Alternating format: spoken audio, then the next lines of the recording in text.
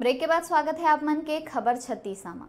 शासकीय बालक higher secondary school Sipat में हर्षोल्लास के संग शाला प्रवेशोत्सव मनाई गई नव प्रवेशी विद्यार्थी मन के तिलक लगा के पुस्तक वितरण कर और मुँह मीठा करा के नव प्रवेशी छात्र छात्रा मन के स्वागत करी कार्यक्रम में मुख्य अतिथि के रूप में उपस्थित सीपत सरपंच संतोष भोईहा छात्र छात्रा मंडला, नवीन शिक्षा सत्र के बधाई और शुभकामना देते हुए कही कि प्रदेश सरकार के मंशा है कि सब्बो लइका मन शिक्षित होए। कोनो शिक्षा ले वंचित मत रहे।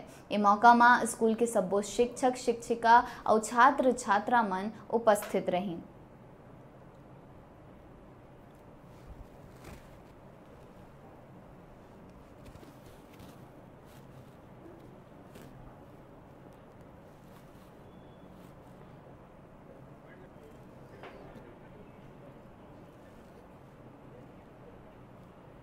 छत्तीसगढ़ शासन स्कूल शिक्षा विभाग के निर्देशानुसार शिक्षा सत्र सन 2019-20 का प्रवेश उत्सव कार्यक्रम शासकीय बालक उच्चतर माध्यमिक शाला सीपत में आज हर्षोल्लास के साथ मनाया गया।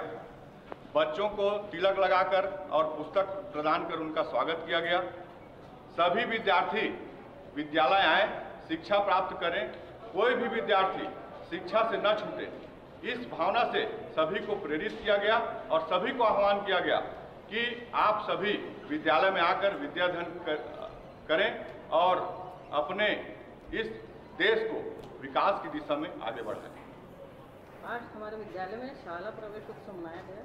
कक्षा नौवीं के छात्रों को एवं छात्राओं को तिलक लगाकर स्वागत किया गया।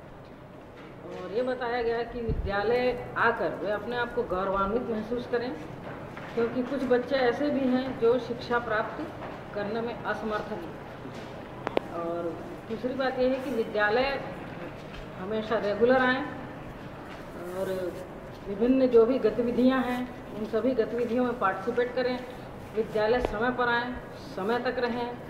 तो विद्यालय के जो भी शासन के द्वारा दिए गए लाभ लाभ हैं, उन सभी को ग्रहण करें और उनके उज्जवल भविष्य की मैं कामना करता हूँ।